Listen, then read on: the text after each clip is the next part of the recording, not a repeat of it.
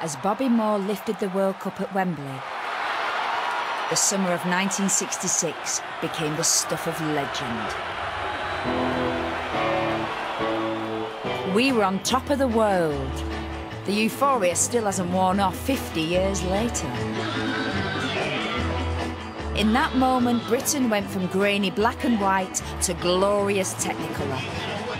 And across the country, people's lives were doing the same. We love talking about many, many subjects, but here's something.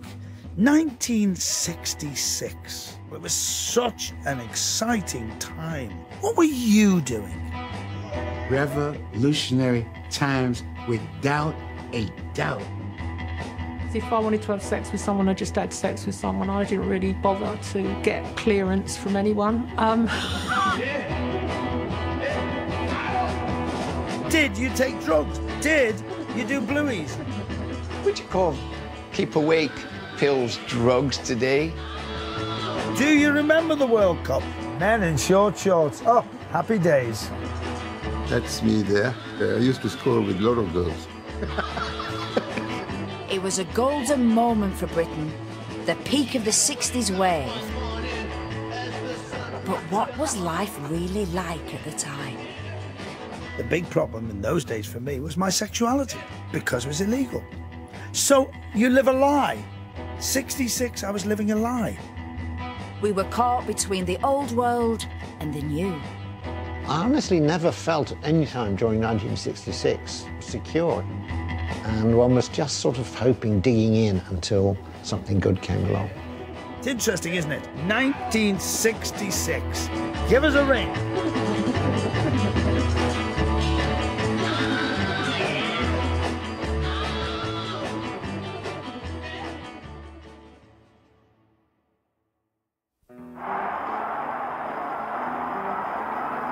We all remember the World Cup final, but what about the other 364 days of the year?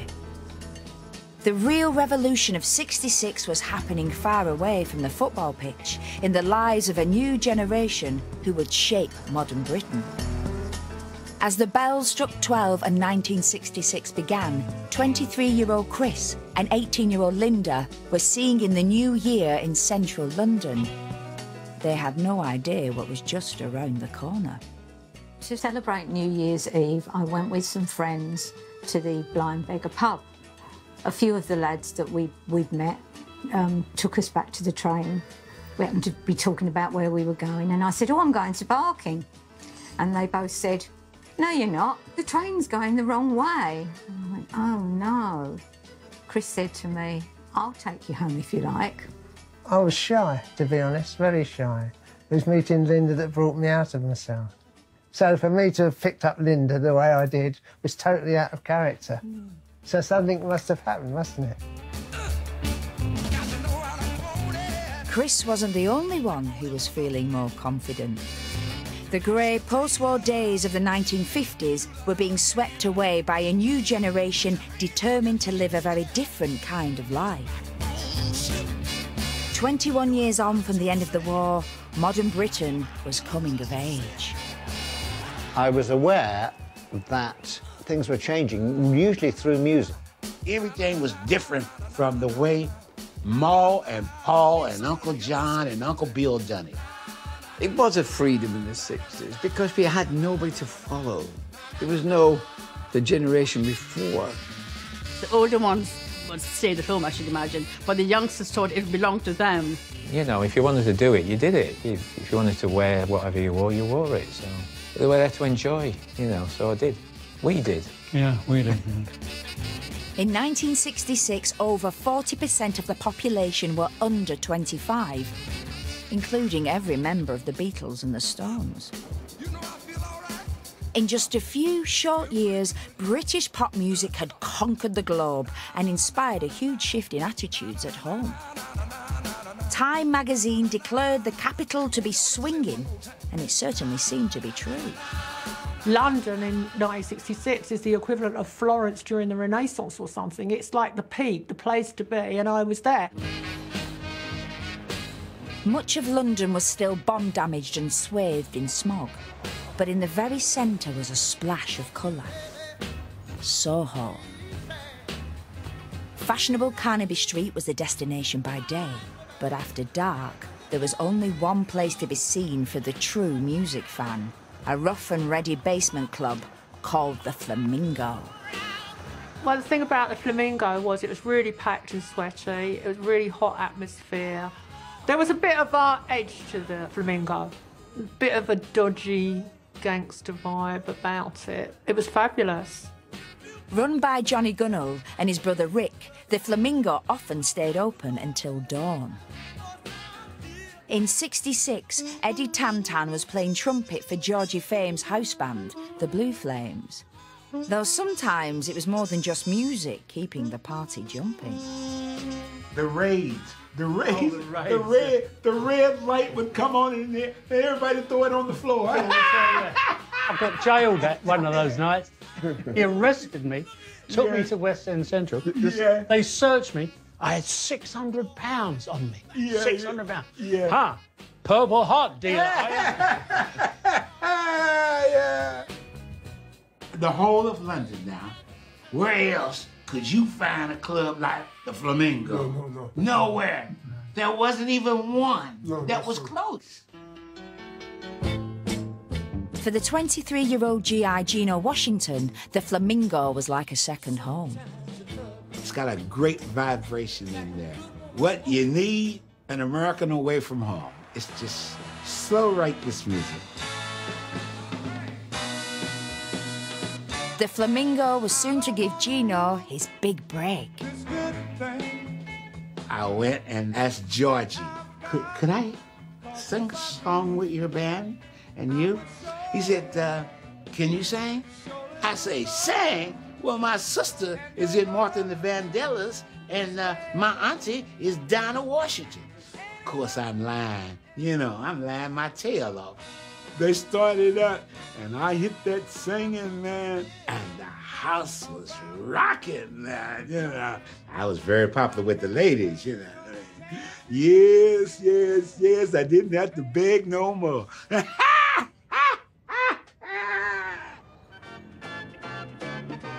On the edge of Soho, 19 year old Janet was in her first year of architectural school, one of only a handful of girls in her year. And I'll go see Georgie Fame. That's in my diary. That's rated as just about as important as everything else. Go to see Georgie Fame, the Flamingo, 9th of July.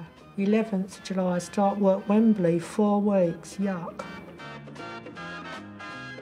By the summer of 1966, the college said we have to have work experience. We had to work in a real architect's office. I thought, oh my God, it's real people. Anyway, my father, he pulled a load of strings to get me a job as a temporary architectural assistant. And he said, for Christ's sake, whatever you do, don't embarrass me. And I went, turned up at their offices in Wembley High Road, in a very, very short mini skirt with the silver hair. And they asked me if I was the new secretary. I went, no, I'm the new architect. Just looked ill. To add to everything, it was the World Cup.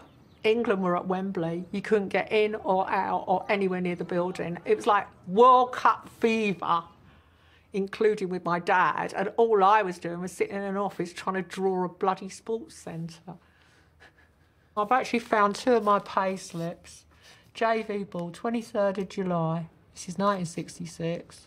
So I'm a temporary architectural assistant. Blah, blah, blah, blah, blah. Tax.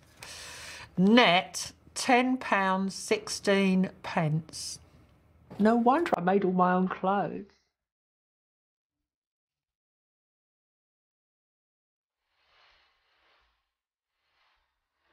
The average weekly wage for a woman in 1966 was £12, while men were earning 23. Despite this inequality, wages had been on the rise, and much of the 60s optimism came from having a bit more money in our pockets. 66 was the peak of British industry. Our factories were producing more than they ever had before, and they ever would again. In the Midlands, Sandy was 21 years old and working at the Botterill Boot Factory. We were making all sports footwear really. I can remember working on running shoes mainly and football boots. Ordinarily, making football boots wasn't anything to shout about, but the impending World Cup had the factory buzzing with excitement. I think we lived in hope because you do, don't you? Um, oh, wouldn't it be lovely if they did win, especially, you know, um, being in England as well. But Sandy was about to play a bigger role in the World Cup than anyone could have imagined. Somebody along the line said, oh, we're going to do the World Cup football boots, better not mess them up. I went home and told my dad, and he was over the moon because he was a sports fanatic. I said, oh, that's really, really good. And I think he said, yes, it's really good, you know. And I think he made some kind of remark, well, if you're helping making them, girl, they're bound to win. The boots were being made for the German brand Puma, and once finished, they were shipped off ready for the England team's first match. It was magical, I think. I was young and it was just really nice to be part of something that was so important at that time to our country, you know, because we'd had the really dark days when I was a child of just after the war. And then you've got this really nice golden era. You were a lot more free than you had been in the past, I think. And it was just nice to be able to be part of something that was national.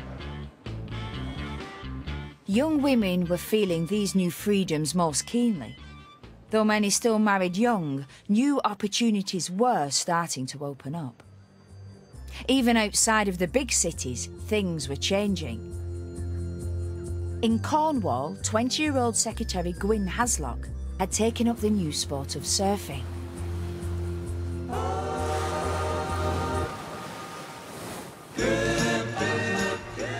This is the first beach that I surfed in a competition in 1966.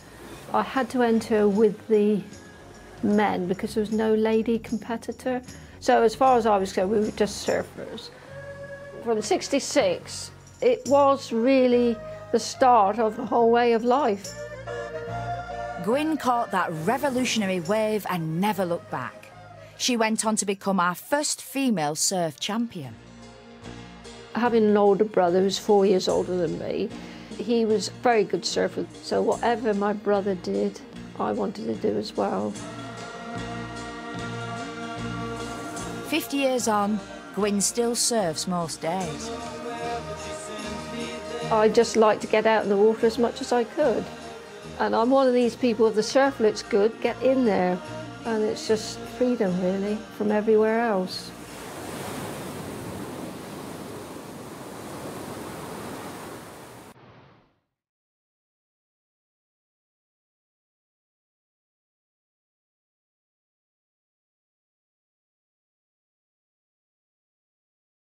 Just outside London, Chris and Linda had been dating almost every night for six whole weeks.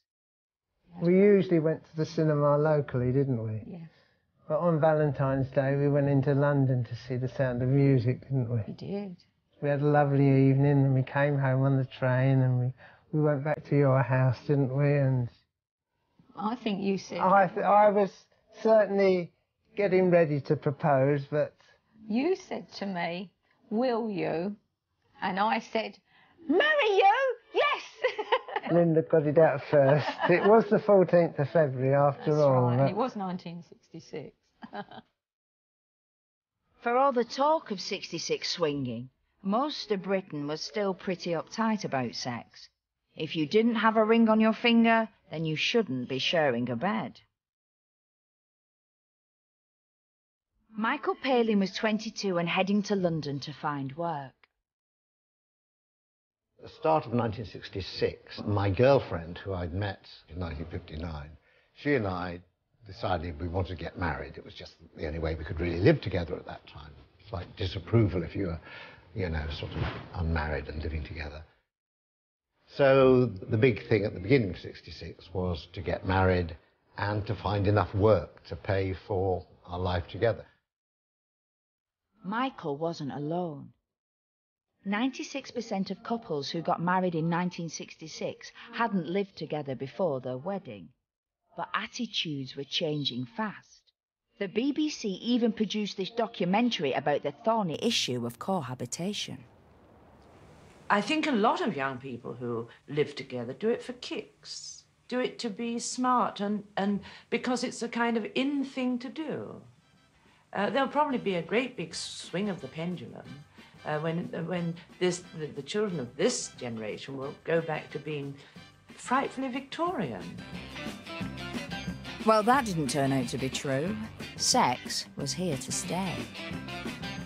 Everything was talked about in a way it hadn't been about five or six years before. I remember buying my first condom in London, you know, I was terrified. And I went to this shop, just said Durex in enormous letters. I thought, well, that must be okay there. I didn't just want to go into a chemist. I said, tell me, uh, condom, please. Excuse me, this is a bookshop. I mean, I managed to lose my virginity about, I think it was about 15. It took a lot of doing. I had asked someone before and they weren't very keen because I was so young. And I was really curious. But that was it. It was like job done.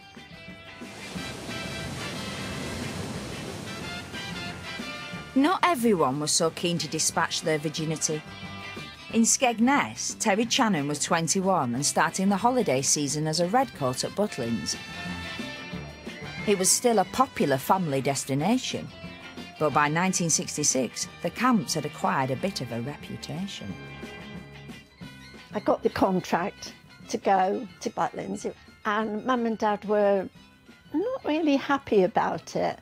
And one of my really good friends, her mum, said to my mum, you shouldn't let her go to Butlins. It's only tarts and slappers who go to Butlins, and she'll come back pregnant. My mum was mortified, and it really, really hurt her and upset her. And so I, I think with that, it, that was probably in my mind that I wasn't ever going to let that happen.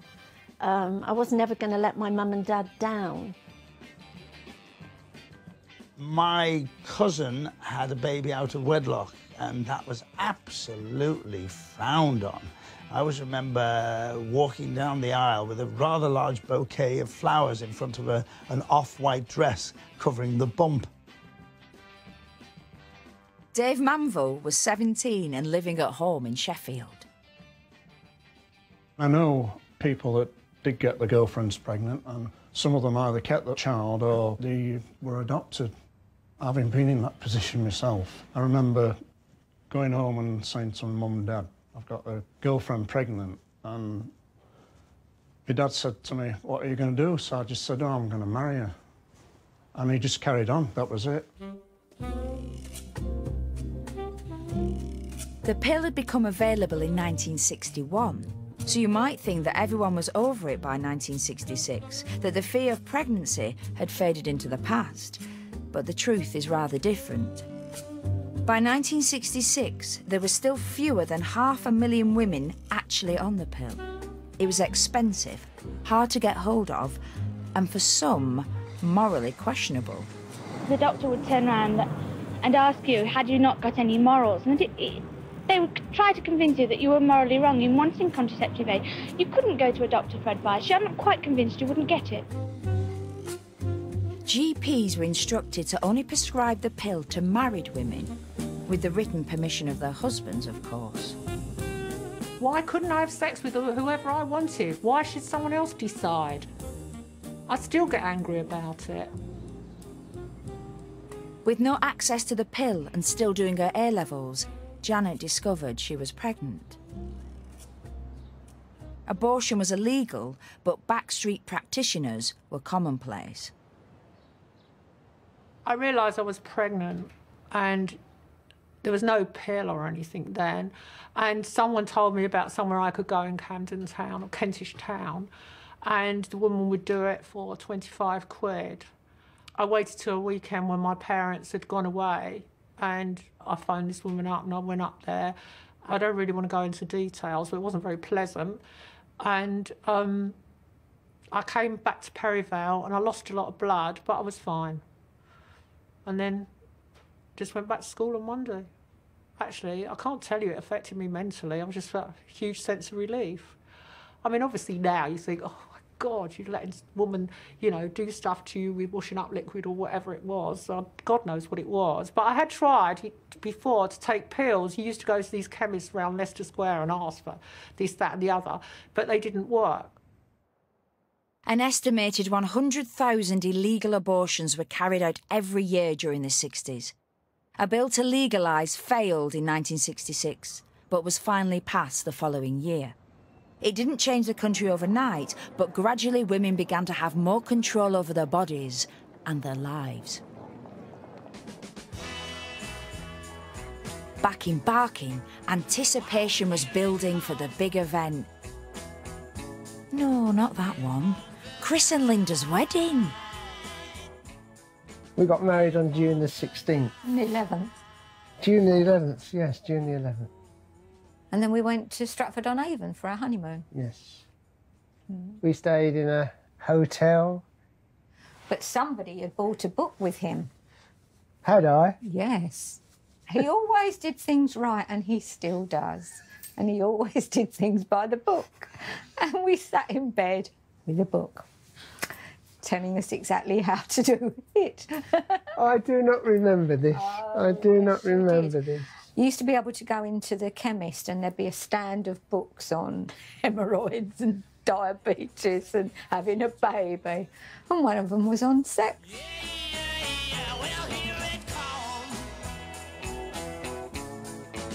Sex manuals were a thriving market in 1966, and a happy marriage promoted as the cornerstone of respectable adult life.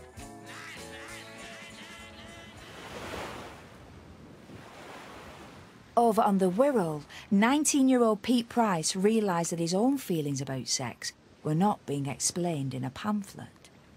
When I started to feel the way I felt, I, I didn't know what I was feeling. You know, it wasn't talked about. It was still a criminal activity. It was illegal to be gay. In 1966, being gay could feel like a life sentence, and that wasn't far off the truth. If caught or even suspected of homosexuality, you faced a prison term. I lived a lie. I lived a lie. I went out with girls. I dabbled with a couple of pals who were experimenting with sex. But it was a lie. The whole thing was a lie because I was frightened. When you got married, were you consciously aware of the fact that you were marrying somebody with homosexual tendencies? No, I was marrying somebody I loved, and that was it. This woman married a homosexual. Twice during their marriage, he was arrested for importuning. The second time, he killed himself rather than face the punishment of a court and the disgust of his friends. Still living at home with his mum, Pete had to be careful to hide his secret. I came home one Thursday night, two o'clock in the morning, and my mother was lying in bed, and not normally she wasn't awake, and she had a letter in her hand which had fallen out my bureau, which was referring to other guys. And my mother said, "What's this?" And she was white as a sheet, and I was white as a sheet, and I thought it's got to be done. And I said, "I'm a homosexual." Uh, to which she was physically sick, absolutely distraught. She cried herself to sleep for three years.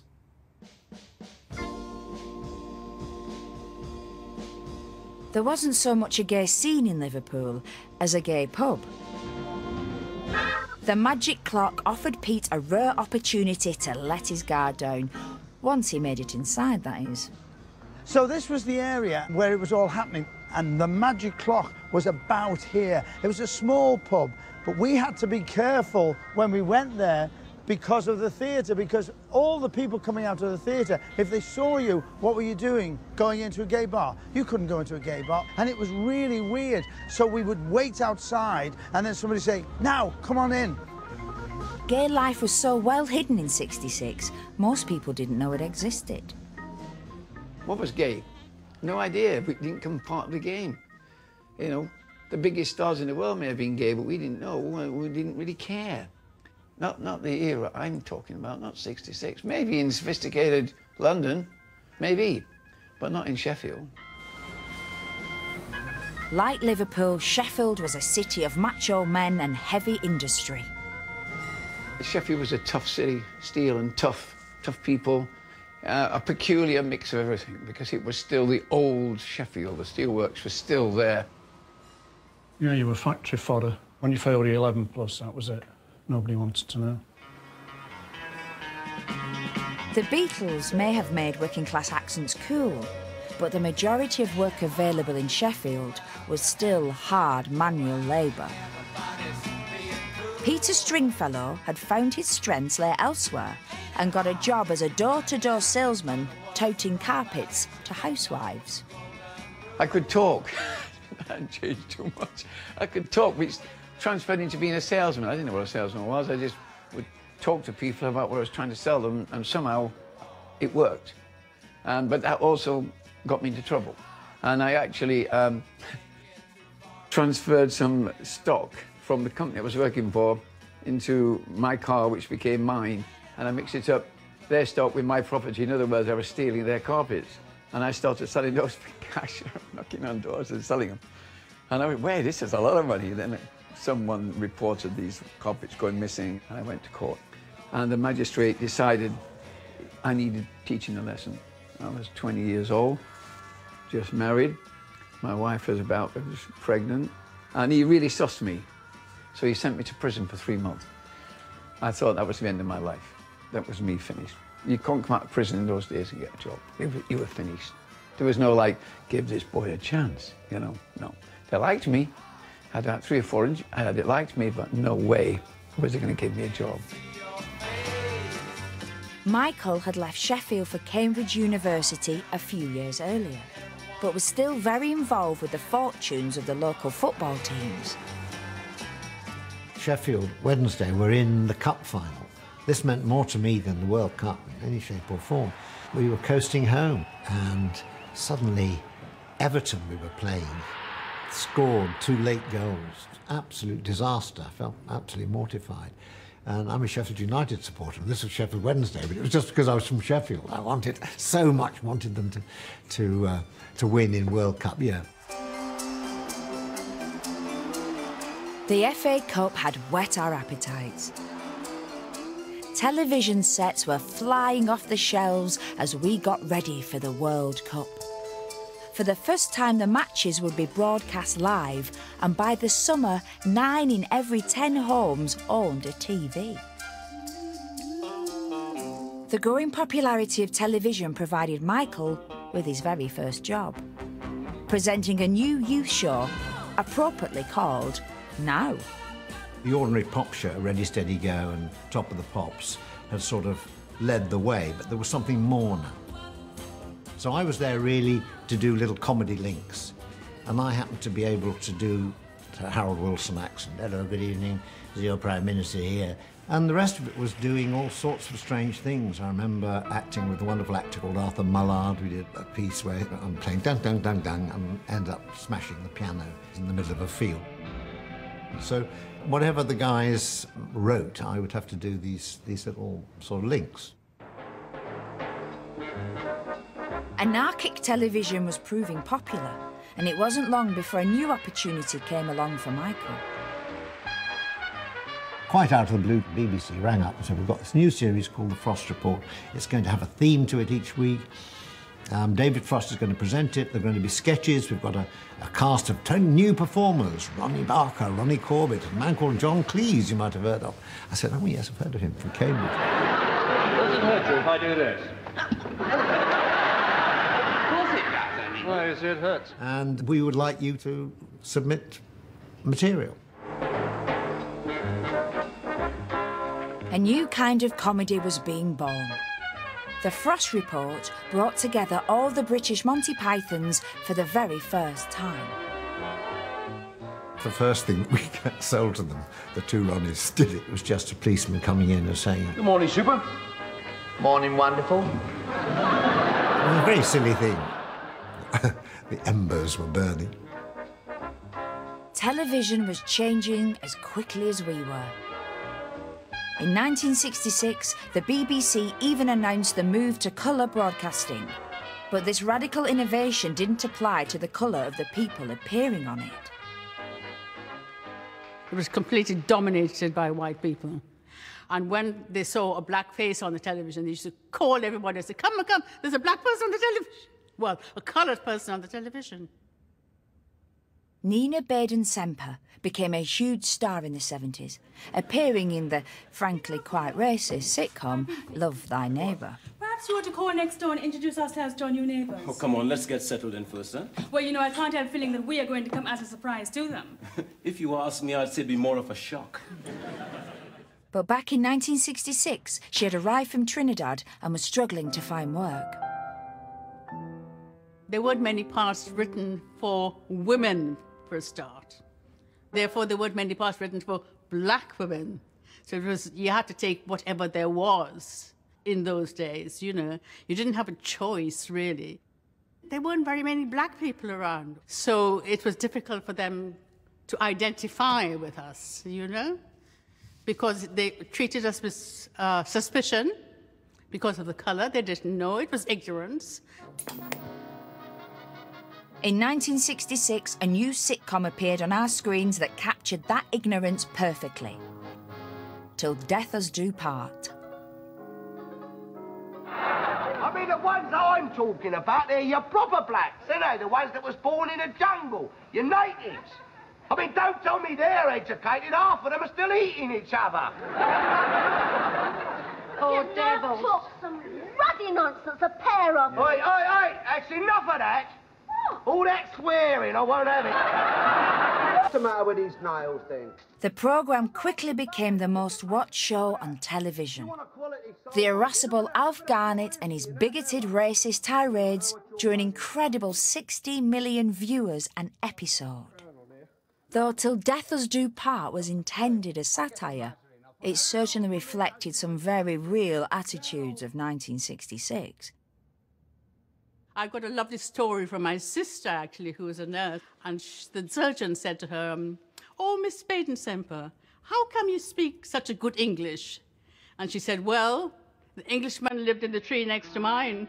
That's good. How did you find that, you know, black white thing in those days? No, How was- did you hack it? Well, I just went with like the flow. most GIs, stayed away from the whites. Hmm, You know, it's just trouble. It's going to cause trouble and all of that. And you go somewhere where blacks hang out. Hmm. As a matter of fact, in England, you have a country of variety, the changing of the season, and it has entered into the people themselves. Yet, the Englishman, or the white man for that matter, doesn't want the variety of the human species. He likes to see white only. The impending World Cup only added to the international feel of Britain in 1966. Alongside the footballers, thousands of migrants were arriving to make a new life here. The Asian population of the UK had quadrupled in the five years leading up to 66. Yasmin Sheikh was 21 and had arrived in Leicester from East Africa to live with her sister and brother. The city now has an abundance of Asian shops, but back then you were lucky to find a bulb of garlic. This is tamarind, bittersweet. You make chutney out of this. Lovely stuff. Ladies' fingers. Okra. Not gentleman's finger, not man's finger. Thank God somewhere the women got the preference. Yasmin and Parveen had been teachers in East Africa and found work at a local school, changing quickly with the influx of new faces. I used to volunteer to sit with the kids, only to eat the dessert because I loved the English, you know, puddings Yeah. and all those things. Dick, uh, um, Spotty Dick? Spotty Dick with the custard. Everybody was talking against school meals, but we loved them, Yes, isn't it? yes. Because it was a change for us. The first school I uh, taught was Medway Junior School, and that is myself on this side here. And you can see the diversity at that time because of the influx of the immigrants. Many of the new arrivals didn't speak any English at all, so for a while daily life was mystifying. Uh, one of our friend who was a doctor and he was having problem because the health visitors uh, were not allowed in the homes of the women who had just delivered a baby uh, because they were suspicious why this woman is coming. They had no idea that that's part of the system here. So he then remembered that these two sisters can speak their language. And we suggested that because we can't expect these women who had never been to school in their life to learn English straight away, but we thought if the health visitors can pick up a few greeting words and build the bridge. So I had to teach Urdu in 1966 to the health visitors, like Assalamu alaikum, aap kaisi hain, you know, very friendly words. And then they, they went to these homes and they would come and greet them. And the women were, oh, Urdu, that you can speak Urdu. Oh, come, come, come. And they would let them come in. And then the problem was they wouldn't let them go. Because that's the Asian culture, you know, until they fed them so much, you never got it. It wasn't only new arrivals who had stigma to overcome. In Sheffield, Peter had served his time and needed to earn money. The booming youth scene provided the perfect opportunity. Alongside his brother Jeff, he decided to open a music venue. There was another club. I had great times. And he helped me when he could. Pete Stringfellow. The Mojo Club. 65 and 66, I was having an absolute ball. I was having a great time in my King Mojo Club. I got an ear for music. I heard something, I liked it. I booked them. In 66, Dave and Paul were working for the electricity board and the department store C&A. But they were at the club every night it was open. Paul even got a job painting psychedelic murals on the wall. 66, it was a whole world for me. Tuesdays, Thursdays was records. Friday, Saturdays, Sunday could be live music, live band. We got all the top London acts that we would never have seen in Sheffield. So we got everybody, Rod Stewart, Elton John. The Kinks, Pink Floyd, and on and on it goes. The Who was so loud, I think you could have heard them in Peterborough. What do you reckon was one of your favourite nights then? The Mojo? One of the I remember is the Small Faces. Mm. And then to another one, the Benny King. You know why? Because he invited me. So it was sang. more and You more. sang. I sang with him, yeah. I sang with Benny King and I can't sing. It gives you a little idea how big that stage was. Remember? Well, couldn't figure out how little Stevie Wonder Yeah. and his orchestra And his orchestra. and I, and the Ike and Tina Turner and their big band And how- the Ikettes. and yeah, how they all fit on. When the groups weren't playing, you had to fill in time. I had a Piccadilly sandwich eating competition. I'd have dancing competition, anything to keep them focused. Because if you didn't, a fight would start. A fight would start, bang, bullet, crash, and it would only stop when your group came on.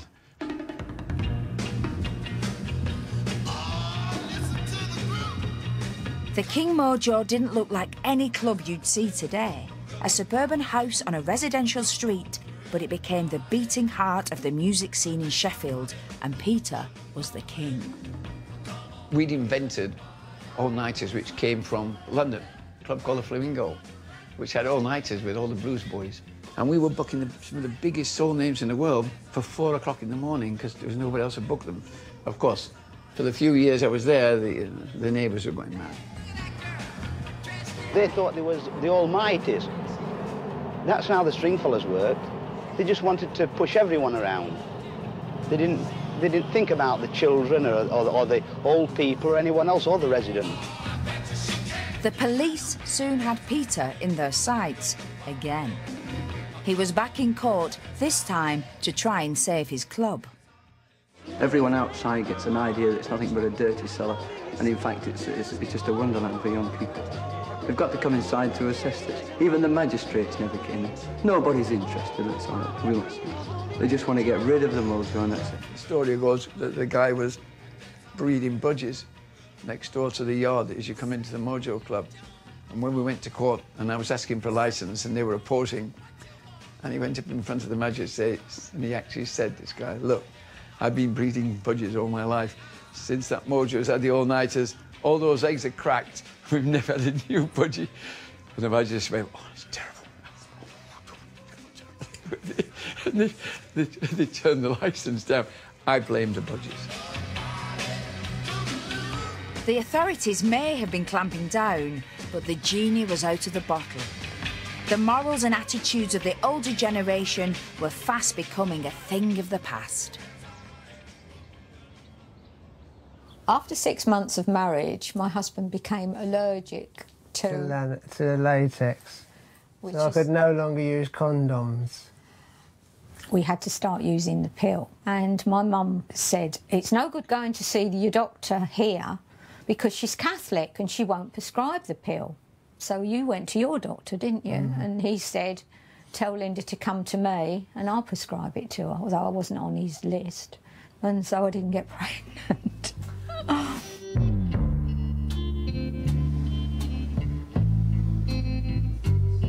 Chris and Linda weren't the only ones looking for medical advice. In Liverpool, Pete and his mum had booked an appointment with their GP. Well, we went to the doctor because it was seen as a medical problem. The doctor informed my mother that I could be cured of being a homosexual. There was a treatment. If I went to a mental institute in Chester, they put me into this place with a false name, which I had to have a false name because I was a criminal. And then the big day came uh, when I had to uh, have my treatment. And what they did was they recorded me um, talking about sex for an hour on a Grundig TK20, the old tape recorders, always remember that. And they would ask me everything about sex, but using the graphic description. They then put me in a room with no windows with a male nurse, and I was in a bed, and I had magazines, dirty magazines. And then they asked me what I drank. I drank Guinness in those days, so was cases of Guinness. So I listened to the tape, drink the Guinness, and look at the books. And halfway through the hour, they injected me, which made me vomit and also made me go to the toilet. I uh, sat in my own excrement and my own vomit, and that lasted an hour. And then they did it again and again and again. And for 72 hours, there there wasn't much left of me at the end of it. I wasn't being cured of being gay. All I was was lying there thinking, I am never going to be seen again alive because nobody knows I'm in here because I'm under a false name. I will never, ever get out of here. And I was really, really frightened. That's all I was thinking of. So I said, I want out. And from that day onwards, I said, enough is enough. I've got to try and accept who and what I am.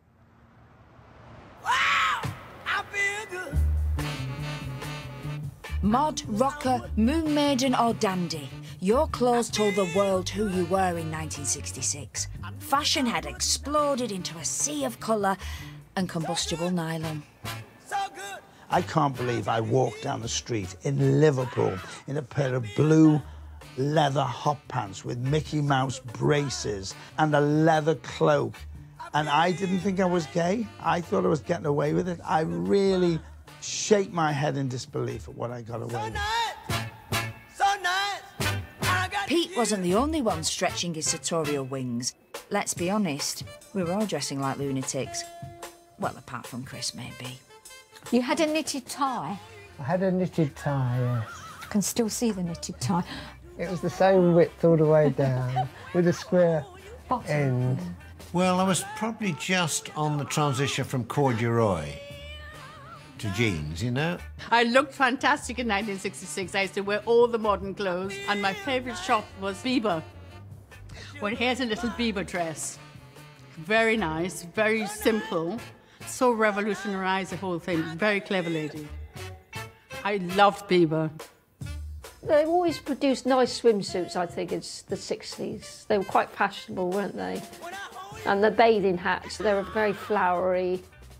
Lots of hair, lots of eyelashes, the traditional iconic Twiggy look. Very short skirts, but my legs were better then. They had bikinis, but not me, because I, I've always been quite buxom, as I would say. And if I dived under a wave, the bikini wouldn't be there at the top anymore. So um, I, I never liked bikinis. It, it would be off. Here's another one with a short skirt. And we always had to wear boots with it, which was the the fashion in those days. We just thought we could do anything. We were so cocky, it was unbelievable. And I just thought, well, I might have funny teeth and glasses, but you know, I look great. But we did look and dress outlandish. And if you really wanted to look unique, well, you had to break out the needle and thread. From the age of 14, I'd always made loads of my own clothes, and I didn't want to look like anybody else. I made myself a silver leather coat, and it just looked fabulous. Janet's silver jacket was soon to land her a part in a legendary film of 66. Set in swinging London, Blow Up follows a young mod photographer in a world of fashion, pop music, and easy sex. The Italian film director Antonioni was looking for extras at Janet's university. He needed to shoot in a nightclub, and he was using Jeff Beck and the Yardbirds to play in the nightclub. So he needed a lot of London trendies. Antonioni picked me out, and I got to dance with this black guy, and we got extra money. And I remember the others got the hump because I got action money. the others had to stand around, and I was like dancing. 66 may have been swinging for London singles, but in Leicester, Yasmin realised that her sister's arranged marriage was in trouble. When I came here, it was like a grey cloud everywhere, and I thought, what's happened to her, you know? I mean, this is not normal. It was great to have her. If she wasn't there, We wouldn't be here today. Yasmin arrived to discover that her Indian brother in law was living with another woman and had been for years. my husband wasn't with me, he was with an English woman. I didn't know. When I came, I found out. He never stayed with me. And in fact, I went to see him. She saw him. She said, He's not good for you. Just forget him and leave him. In 1966, Parveen did something unheard of in the Asian community. She filed for a divorce. Muslim women. It was unheard. But what my husband, ex husband, thought, she will not do anything. So I'll have English and Asian. That's what he had in mind. But I said, no way. I'd rather be alone than have as a second wife. And I took the very difficult decision, but I did. I think we set the precedent after that, didn't we? A lot of Muslim girls started coming out of the deadlock, you know. They realized that you can do it. You know, you can't just suffer while the man is having a, another woman on the side. It wasn't just women who were asserting their rights. In Belfast, sectarian prejudice meant that Catholics were being treated as second class citizens. Jobs were being advertised Protestant only, and many Catholic families were living in slum conditions. But young Catholics in Northern Ireland were growing in confidence too. Queen's University student Eamonn McCann picked up a loudhailer and started campaigning for change. It was perhaps naive and romantic to believe that we were about to transcend and to sweep over the old sectarian divides because we were young, cool, international people. It's, uh, sadly, it wasn't to be, but it was a very attractive idea at the time, for me anyway. Inspired by the civil rights demonstrations in America, the students saw that peaceful protests could have a huge impact.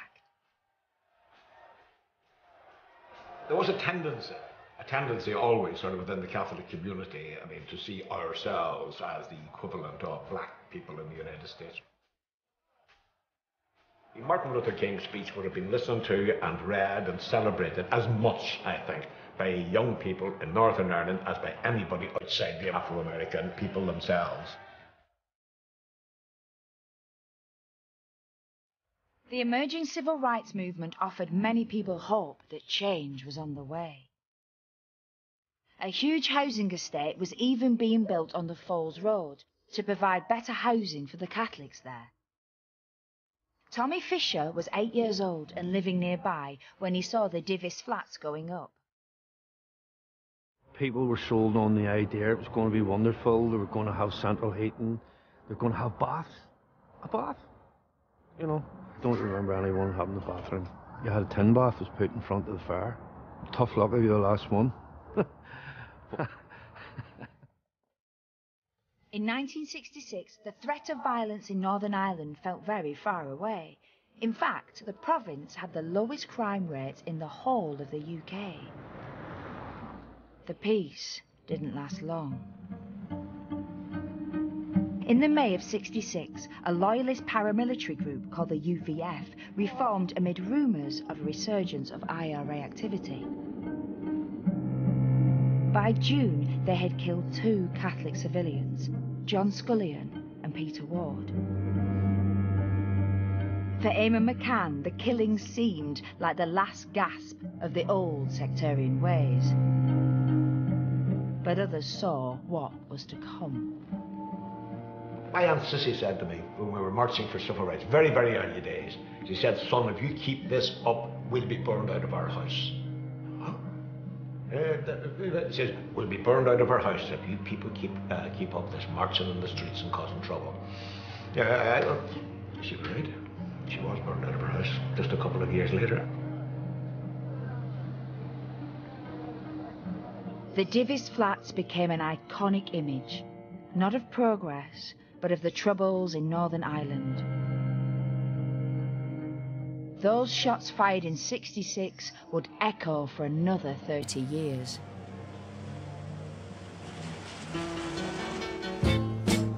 America was influencing Britain in other ways too.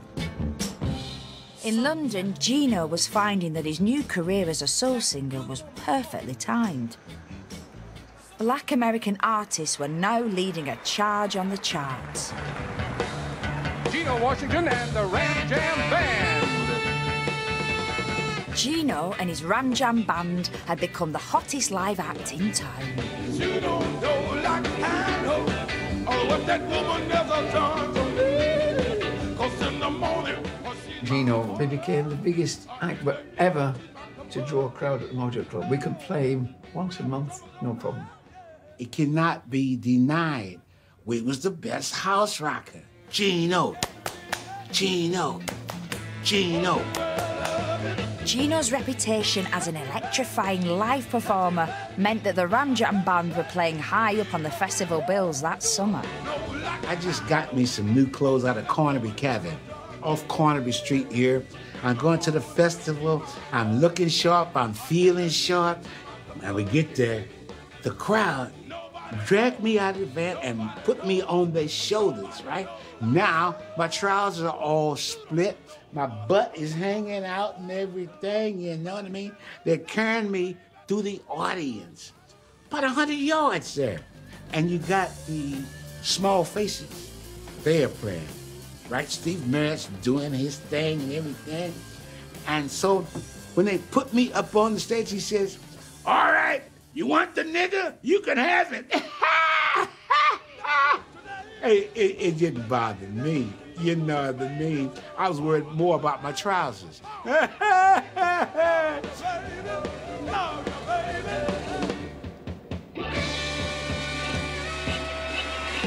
Yeah, Geno Washington. Do you know how the flags are flying in Birmingham here today? Yes. Why is it? Oh, I know the World Cup.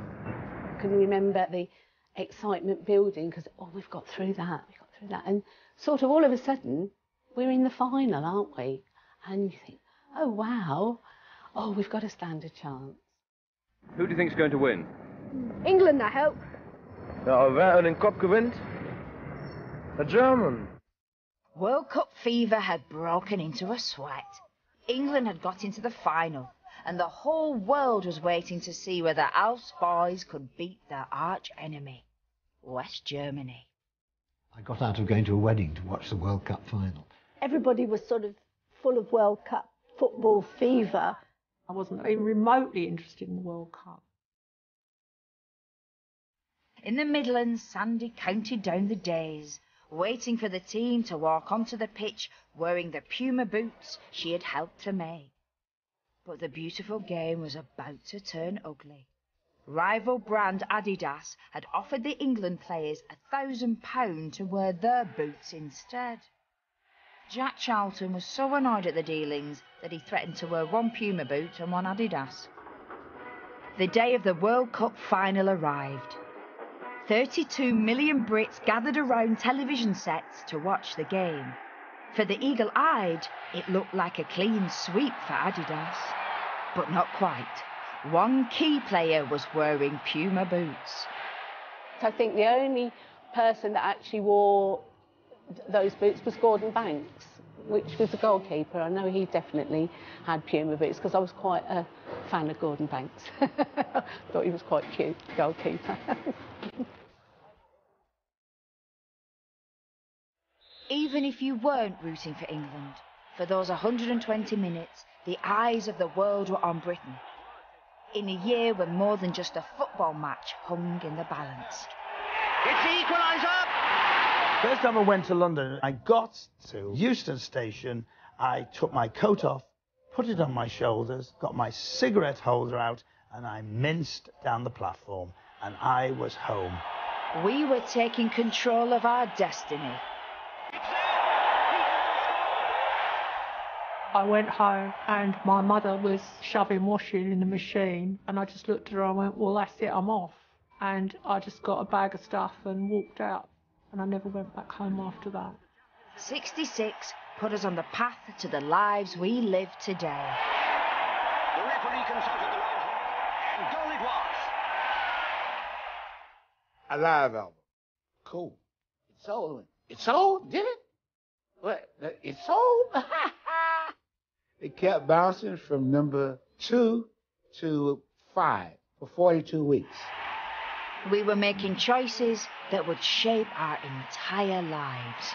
Geoff Hurst saw an opening in the defence and achieved a hat trick. For Terry and her boyfriend Dave, that day would stay with them forever. Dave walked me back to my little tiny pokey chalet and he proposed to me that night. And I think it was because we were just on a bit of a high, really. That was my sort of recollection of the World Cup, was me getting engaged, really. That was far more important to me than the World Cup. It was, it was lovely.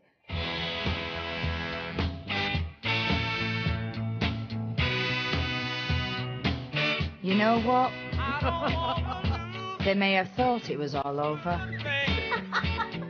but actually, Oh, it had only just begun.